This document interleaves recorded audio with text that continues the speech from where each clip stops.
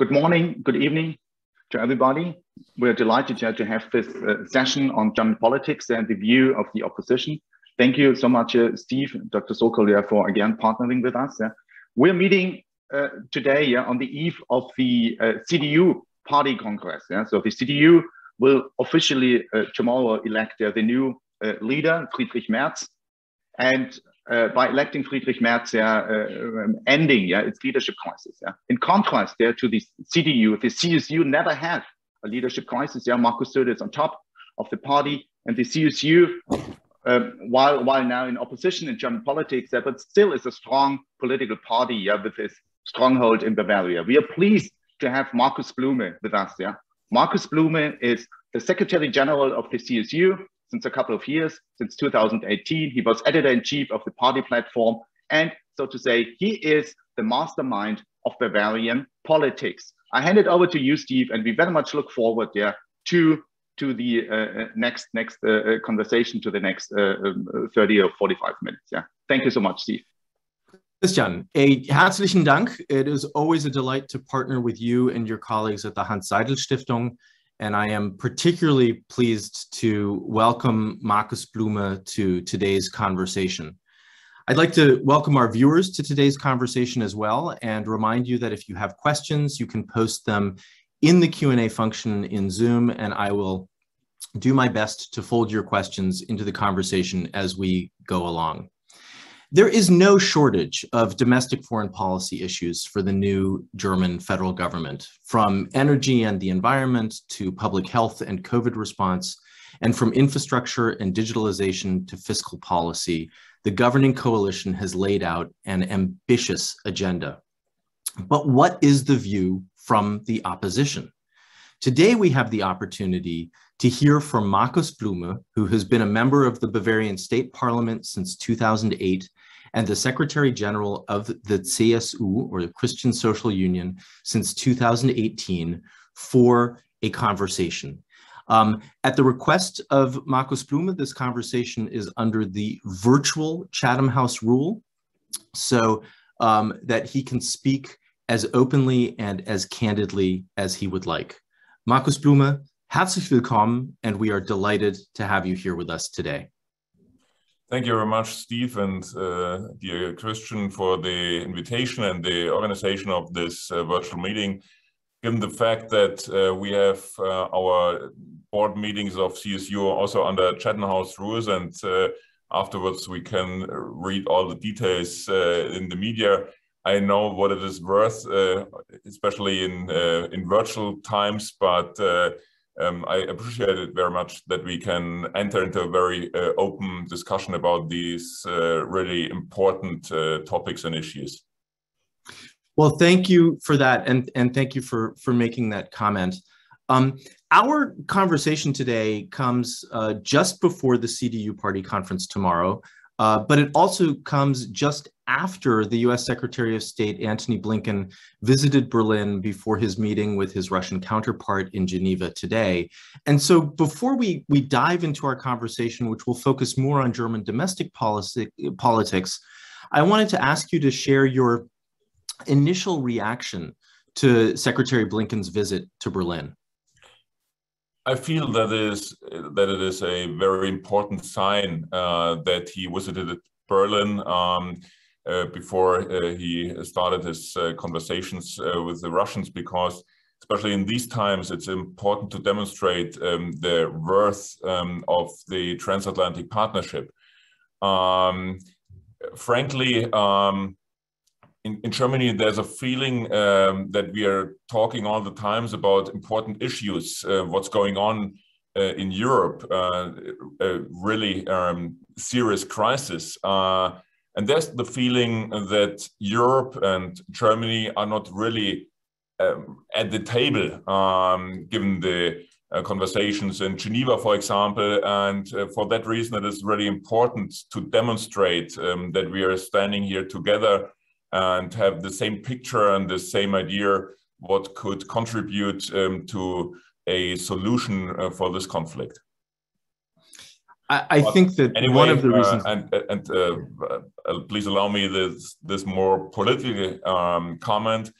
Um, just a few minutes ago, I read in a German news magazine, uh, Der Spiegel, um, that uh, our chancellor uh, does not really have time uh, for meeting uh, with your president, with uh, President Biden, and I'm I'm really surprised if this is true. Um, this, well, let's say it's it's a scandal because it's important here to be in good talks and. Um, so, so arguing that uh, there's not just enough time and there's so many other important meetings, uh, I just cannot imagine what it could be that is so important that uh, he has no time to meet your president.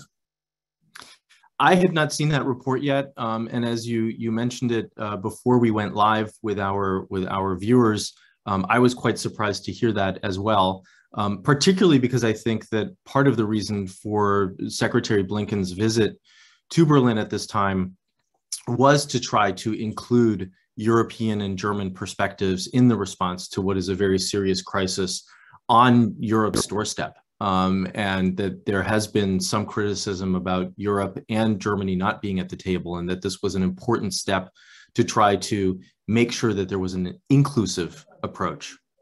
Exactly. We, we might come back to, to some foreign policy topics during the course of our conversation, but um, I'm I'm really happy that we're talking very early in the new year because this is a period where one can still reflect a little bit on 2021, but also look ahead to what the coming year might bring. And so I thought we could really start our conversation by asking you to share your outlook for 2022 and to give us a sense, to give us your sense of what Germany's current, primarily domestic but also foreign policy priorities are?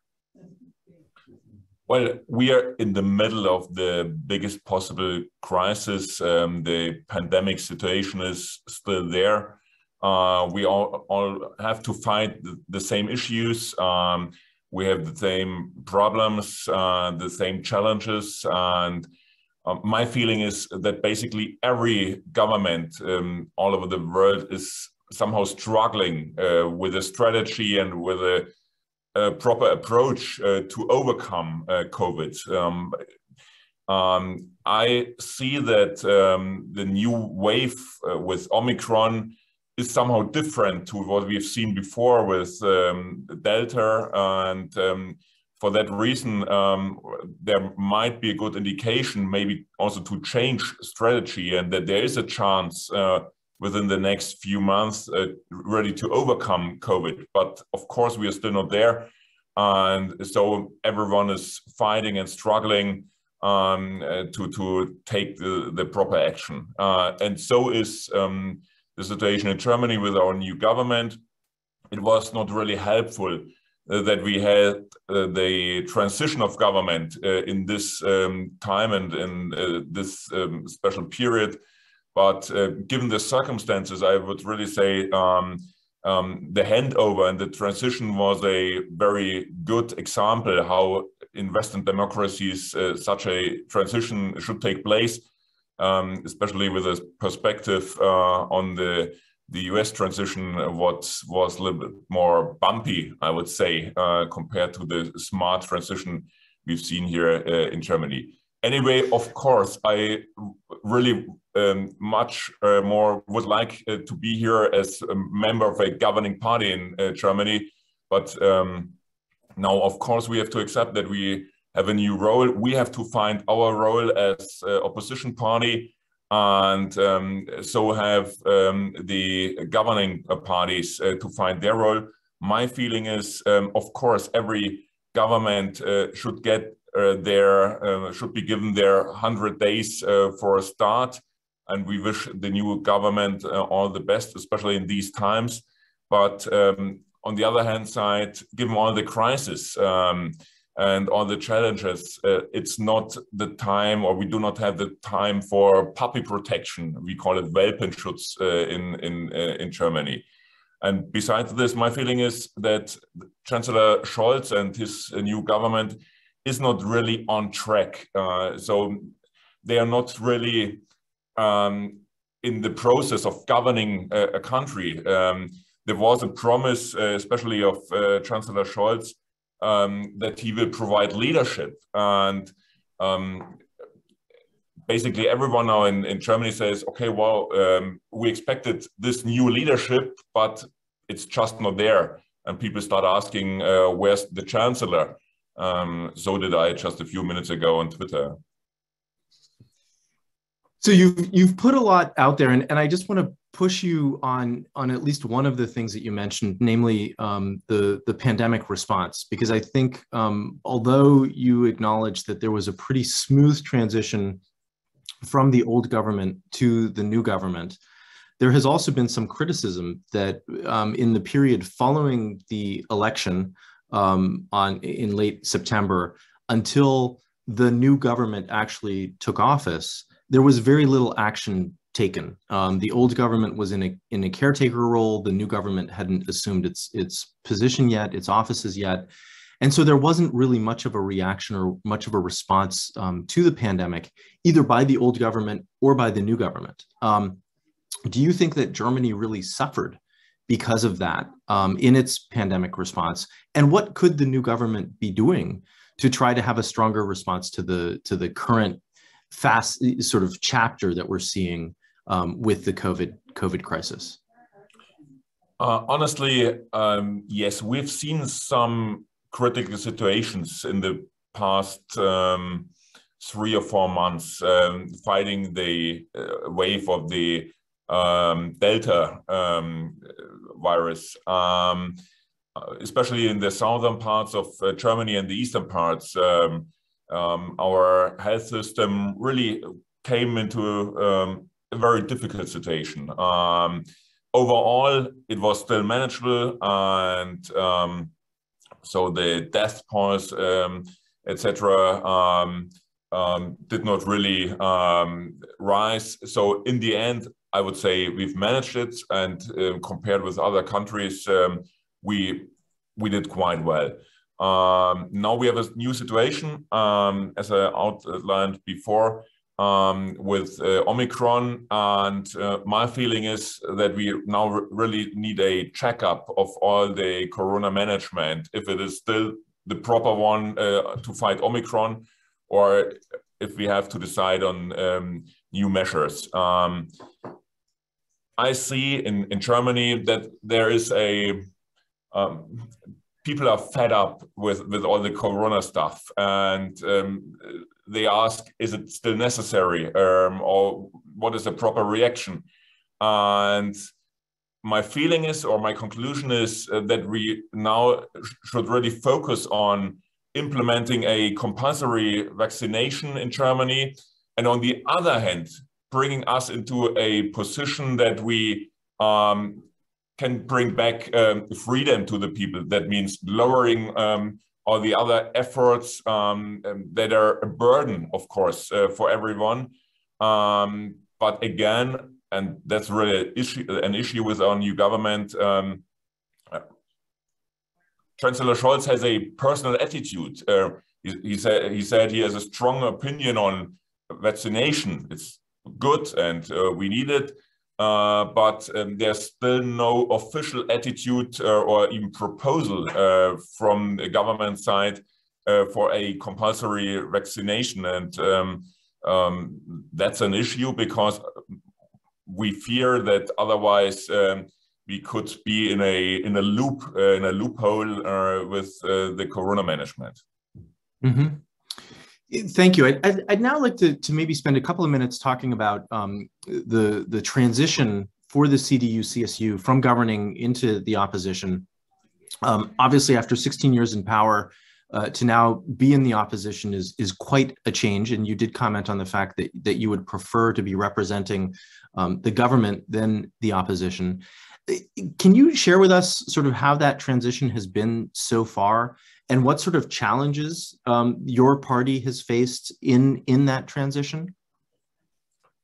Well, our our pitch or our idea was a different one. Uh, we thought after 16 years uh, we could reach again uh, the chancellery, um, and um, well, honestly, I do not want to go again into the details. Uh, but if you ask me, of course, I, I do so. Um, but in the end, uh, we we didn't manage.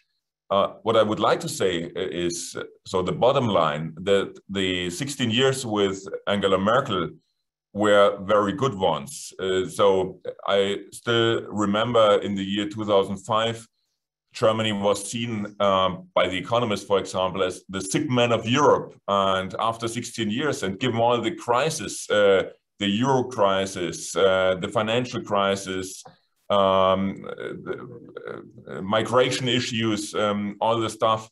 Um, uh, in all these 16 years, um, um, to, to be still in a position um, of uh, a very low unemployment rate, of a very robust uh, economic growth, substantial investments in infrastructure, in climate change, uh, fighting climate change, etc um, is um, something that is um, on the very positive side of every balance sheet. Uh, so again, the 16 years were good years uh, for Germany um, and should be a good basis um, for, for the upcoming years.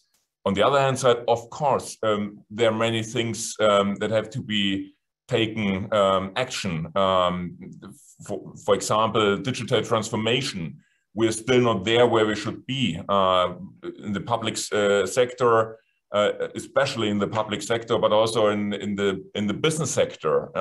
so we have a uh, an industrial transformation. We have the um, climate transformation uh, of our economy. Um, we ha have the the disorder the, um, in, in, in global politics. So there are many, many issues, um, and really, I wish all the best for the new government. So, in in that sense, I mean, picking up on that, wishing the new government the best, and and as you acknowledged earlier, the new government is not even hundred days into into office. Um, do you have a sense of of what tone the opposition might set? Set? Do you think it will be more confrontational, or do you think it will be more cooperative? Um, you've you've outlined a number of challenges that Germany faces and uh, how one addresses those challenges will be incredibly important in the, the months ahead. Well, I would say it's both. Uh, it's uh, cooperative um, uh, when we are in responsibility for Germany. Uh, so when it comes to um, the right way in addressing the next uh, Corona COVID steps, um, um, of course we are on board. Confrontational uh, when we had the feeling um, that um, the steps of uh, or the proposal of the government um, just uh, face into the wrong direction. Um, the, the new government um, sees itself as a um, coalition of progress, but progress, they do not see it in a technological way, but more in a um, way that is to transform our society. Um, so, for example, the um, um, legalization of um, uh, cannabis um, is a big um, proposal of the new government. the idea of adding up uh, to mother and father, another mother and father, is something what especially in uh, conservative uh, circles um, or in communities disturbs their um, uh, people and uh, um, I could add up many other things. Uh, so uh, in these fields where we feel that's not progress, but um, that's um, an ideological movement, um, we would put up a stop sign and from our Bavarian perspective, we would also demonstrate um, how we also could be a role model in opposition um, to wrong decisions in uh, Berlin. Um, also, when it comes to supporting the German Mittelstand um, mm-hmm. or the, the lower income um, uh, people, um, I do not really see that the new, new government is addressing here the um, the burning issues, um, the exploding energy prices, um, inflation, etc. That's all on the table, and uh, so far we have uh, not seen any, any, proposals here how to how to fight it. We'll we'll drill down on a couple of those topics in in just a moment, but I have one more question um, about the opposition before we move on, and and that is you alluded to this earlier in our in our conversation Um, during the election campaign, we, we all saw some tensions between the CDU and the CSU. Um, now that, that the CDU CSU is in opposition and um, with it being clear that Friedrich Merz um, will become the chairman of the CDU, um, what do you think the future relationship between the CDU and CSU will be under this new CDU leadership? We know that um, we are strong together. Um, we are called a union um, of CDU and uh, CSU, and um, so the both chairmen, Markus uh, Chairman Markus Söder and uh, the designated uh, chairman of uh, CDU uh, Friedrich Merz said, um, we do not want to see that um, we repeat the the last year. So we are very clear when it comes to our fundamentals. I would like to say so. Our party principles. Um, we have a common understanding what is important in these times um, to address um, the, the, the value of freedom, uh, for example, um, or uh, competition, of um, responsibility um, for each other, uh, and all this stuff. So very the, the, very basics of our both parties, uh, we agree 100%. Um, secondly, we agree on, on the on the proper strategy um, now in the role of opposition in, in, Germany. And for us as CSU, it's very clear that, of course, Friedrich uh, Merz, the designated chairman, is going to be the new opposition leader uh, in, in Germany. Um, that's not Markus Söder. He's um, chairman of CSU and Bavarian prime minister uh, and the new opposition leader in Germany. This role is um, the role of, um, of Friedrich uh, Merz. Um, we have to focus now on um, the upcoming elections um, in the German states. Um, in this year, we have four um, really important um, state elections, and in the year 23, we have elections here in Bavaria. we want to regain strength in the states to be in a good position then uh, for the next uh, elections on federal level. One uh, final question on this uh, comes from one of our viewers who's who's curious who Friedrich Merz listens to when it comes to foreign policy. Um, the questioner goes on to write, um, in the CDU, CSU, who are the people who are shaping the direction of Germany's center-right foreign policy thinking, and who should we be watching? Well, that's a good question. Um, our most important think tank is our faction, the CDU, CSU faction uh, in uh, German Bundestag. Uh, we have all um, the very experienced um, uh, deputies uh, there, and um, I'm quite sure that he will rely on the expertise um, and the experience of um, these members. and of course, he by person is a um, a transatlantic person. Um, he was chairman of the Atlantik-Brücke, um, you know this, and um, mm-hmm. for that reason, I um, do not think that he needs here any sort of um, special support. again, we have a very common understanding of uh, what's going on and what's important in Germany and Europe for, for the upcoming years.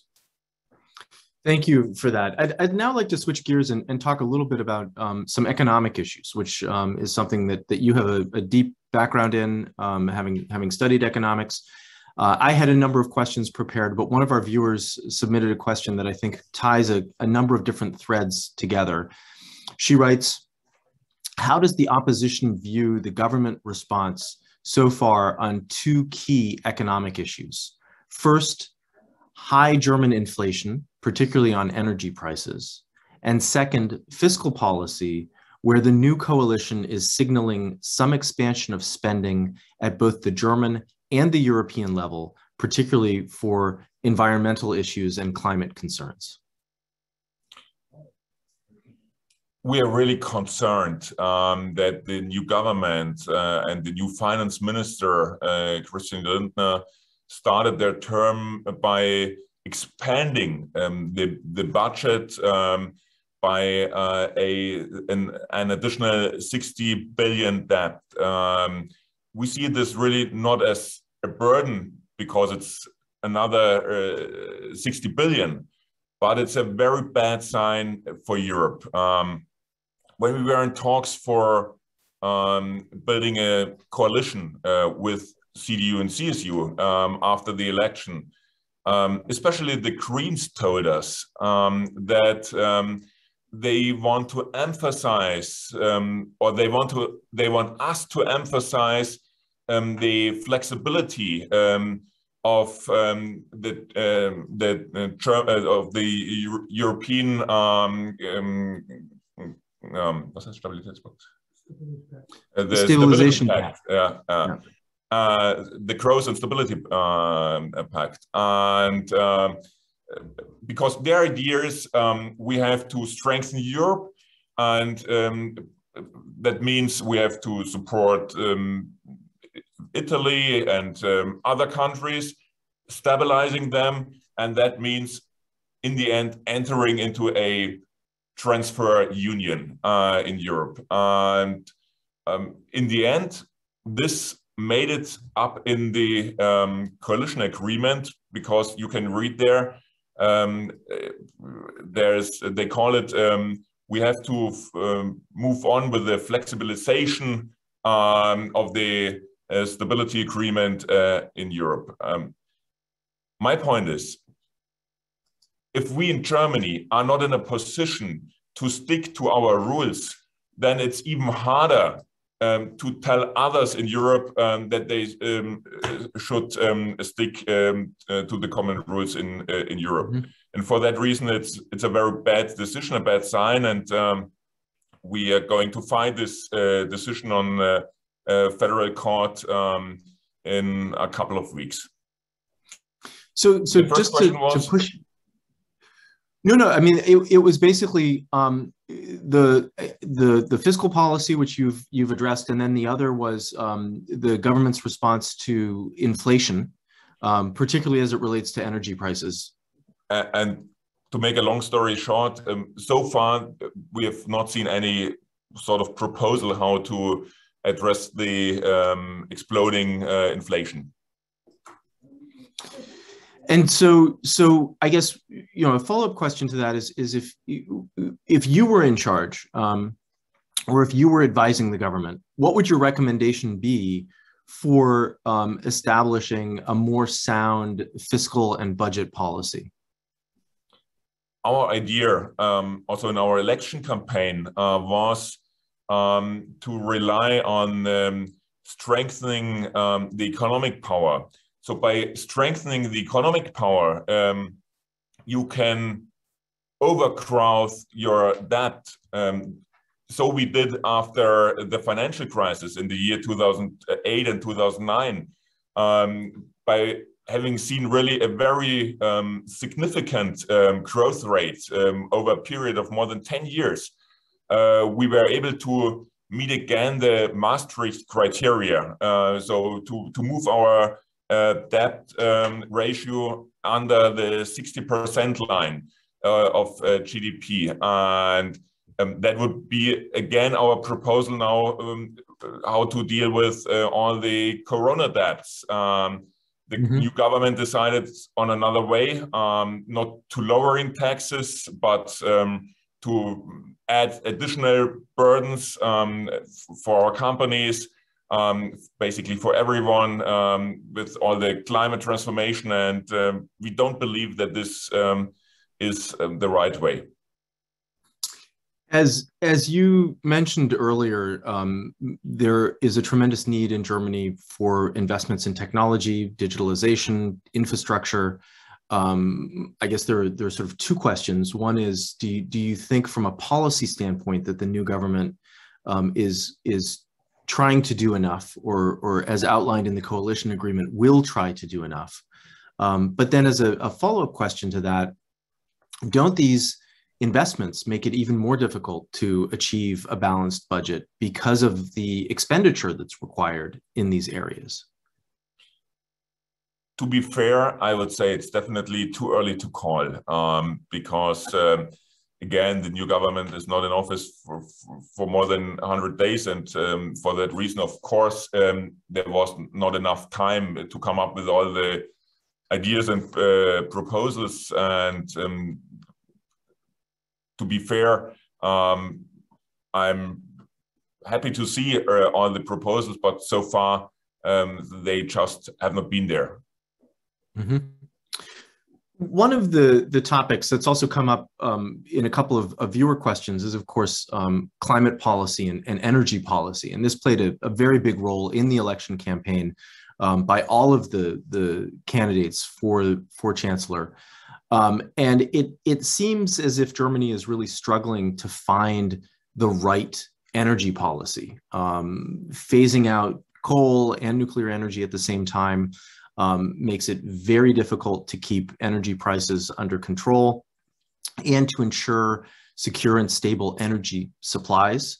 Um, one of our viewers goes so far as to, to write, Germany shut down three nuclear power plants at the end of last year and is set to shut down the last three at the end of this year. Meanwhile, EU neighbors such as France, Poland, and others are heavily investing in building new nuclear power plants, and even the EU sees nuclear energy as a main factor in the transition period to 100% renewable sources of energy. How do you think Germany can remain an industry nation under the traffic light coalition? And should the CDU-CSU change course and advocate for transitional nuclear power again? No, we will not do so, um, to be very clear. Um, there's uh, in Germany, um, let's say, an agreement. Uh, so, of course, some people come up with the question could we re enter again into nuclear energy? But um, from a technological point of view and from a point of or perspective of acceptance, um, the support is just not there. And uh, for that reason, uh, nuclear power is not an option anymore for Germany. Uh, we are now on track um, for energy transition in Germany. Of course, it's a bet, a big bet uh, for the future. Um, we are the only country in this size uh, with this economic power um, to stick to a transition of both leaving the, the fossils, the coal, and uh, nuclear power. Um, and this could, can only be successful if you really uh, focus very much on adding up new power, uh, renewables, um, building up new power lines, um, bringing up um, um, the smart grid or moving forward uh, with all the smart grid things. Um, and in the end also relying um, on uh, the European energy markets. Um, mm-hmm. And um, in the end, um, there is a st- strong belief uh, that we can do so, but um, there's a, still a long way to go. So we are we are not there, and many things uh, we need many things where it's necessary to take action or new action on bringing uh, forward um, all the sorts of renewables, um, not focusing only on wind energy like the Greens do, but also moving mm -hmm. forward with hydrogen power, um, um with uh, biomass, uh, with uh, photovoltaic, uh, so with all um, this sort of things that are somehow working in Germany. So one one more um, economic question, and and that, it comes back to inflation, which we talked about a little bit before. But but inflation is really a, a great matter of concern on on both sides of the Atlantic, and I'd be curious to know what your guidance or recommendation would be to the new government on how to address these inflationary trends, particularly given the impact that they have that it has on lower and middle income households we believe it's important um, to lower uh, the the burdens uh, for these lower income um, households. Um, uh, our proposal is we have a concept in Germany that is called Pendlerpauschale. So if you're a commuter, then um, you get a certain um, amount of money back by tax. And um, our idea is uh, the way um, so 10 times higher energy prices um, uh, fuel prices means uh, 10 times higher um, tax percentage you uh, get back. Um, that's just one idea. So in the end, our idea is um, we have to uh, compensate um, the additional costs uh, by lowering the regulatory percentage on energy. Yeah, in the end, to compensate the additional costs.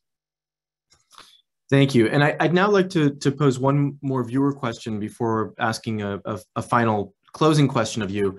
Um, one of our, our viewers um, raises a question about, about the situation with Russia and, and Ukraine and, and ties it in very nicely to the energy issues. So in a sense, we're coming full circle in our conversation. Um, and he writes, if, if Putin further invades Ukraine, would the CSU support a cancellation of Nord Stream 2 or at least its suspension until Kremlin supported forces withdraw um, to, uh, to, to its recognized borders? Um, and how does the CSU assess the government's backbone, particularly that of the SPD, vis-a-vis Putin's behavior? I strongly believe um, that we have serious issues here um, that um, we are in a really serious phase um, of this uh, conflict, um, given all the developments. Um, on the other hand side, I would really like to stress that we should not, or we should try everything to not further escalate the things. And for that reason, my personal uh, belief is that we uh, need new formats or we have to revitalize um, existing formats um, of dialogue, um, of um, conversation. Uh, look, in uh, more in less than uh, four weeks, um, we have the Munich Security Conference. Um, and I think that could be a good place uh, to bring all the parties together um, in order to avoid um, a further escalation. But on the other hand, of course, being very clear vis-a-vis Russia um, um and sending um, very consequent signals. So I think it's a, it's somehow a double strategy necessary. On the mm -hmm. one hand, a dialogue, and on the other hand side, clear messages, uh, and of course, uh, um, being ready also for consequences, but not always talking about what could be in the case of because no one want to see this case. Mm -hmm. Mm -hmm. Thank you, thank you for that. So, so finally, um, as you mentioned, uh, the the new government has not made it past the hundred day mark, and so it it deserves some benefit of the doubt as it comes up to speed and and works its way up the learning curve. Um, what are the issues that are on your scorecard? Um, how are you watching this new government and, and how will you rate its success or lack of success in addressing the, the wealth of issues that you've, that you've talked about? Well, um, there are two hearts uh, inside. Um, so one is, of course, I want to see success, uh, success of our country, um, um, shaping uh, the, a good future um, as every politician wants. On the other hand side, of course, um, I want my party um, regaining strength uh, and coming again into power. And uh, for all this, you need a good strategy. But there's a saying in Germany: um, you should have a good strategy, but you should not talk about this, uh, especially not not right now because it's uh, uh, too early. So um, I would say, or I would propose we should have a follow-up um, in a couple of months or maybe a year. And then I would tell you more about our Bavarian success sto story, because for us as CSU, it's always very important, not only being successful on federal level, but also on state level. Bavaria is somehow the economic powerhouse of Europe. Uh, and um, we wanted uh, to remain the political powerhouse um, for the CSU, for the conservatives in uh, Germany. Um, that's somehow one of the backbones um, of the conservatives, not only in Germany, but all over Europe. Well, Markus Blume, I want to thank you for for making the time to talk with us today. I know that you have an incredibly busy schedule, and I would love to come back to your offer to to speak with us again um, and to assess both the government as well as the activities of the opposition, but also the developments in in Bavaria. And I hope that we have an opportunity to to speak again in the not too distant future and and even to see each other in person. So thank you again for, for making the time to join us today.